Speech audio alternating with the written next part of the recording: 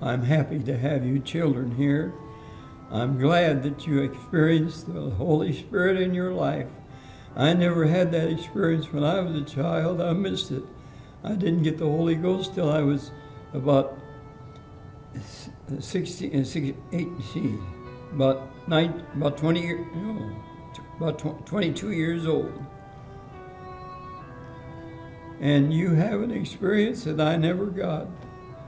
And I'm glad that you have it. And if you hold fast to it, it will take you all the way. Just hold fast. Don't let it go. It's the greatest thing you've ever experienced in your life. There can't, there can't be nothing greater. Getting, getting the Holy Spirit, following God, and being a servant to Him is the greatest thing you can accomplish in this life and it will give you everlasting life where you can live forever and enjoy the things of God.